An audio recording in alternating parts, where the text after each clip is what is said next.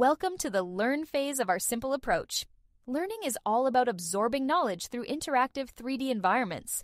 Imagine taking a book and converting it into a fully immersive 3D experience. In this environment, you'll have an avatar to guide and assist you throughout the learning process. Let's look at an example of how this works. We'll demonstrate a mechanical installation process. Follow these detailed steps. Mounting of the forced ventilation. Screw the two elbows onto the housing of the drive.